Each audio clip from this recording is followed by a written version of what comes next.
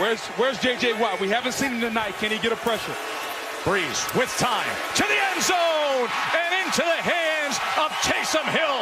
Got Taysom Hill in. He's going to take the direct snap. The man who can do just about everything, including this. Taysom Hill for a gain of about 18 yards. At the quarterback spot for Bridgewater. After a gain of 18, Hill. And the catch made by Thomas to the 25. Getting the snap. Going to come this way with the football. Turn the corner. Get some yardage inside the 30. Out of bounds at about the 25 yard line. To work him in to the lineup. Look at this call. They hand it to Line, who pitches to Hill. And he is inside the 35 yard.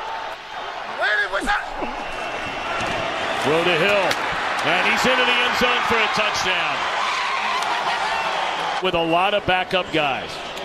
You see this design, the outside receivers are blocking immediately. They're going to throw the ball and get.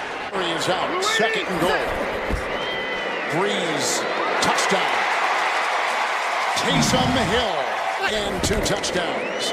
First and 10, blocked by Warford. He's got him, Taysom Hill, inside the 15 near the 10 comes up with a 36 yard completion. This is who they're trying to fool. And what happens is you get a natural rub and the linebacker Walker gets picked.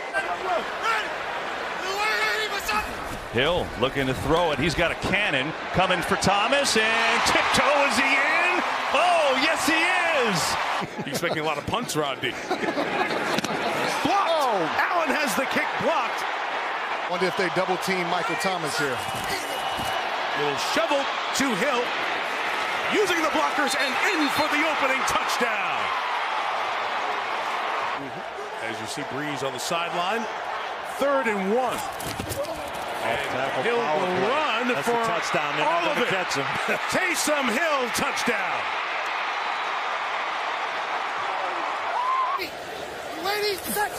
Here's Brees.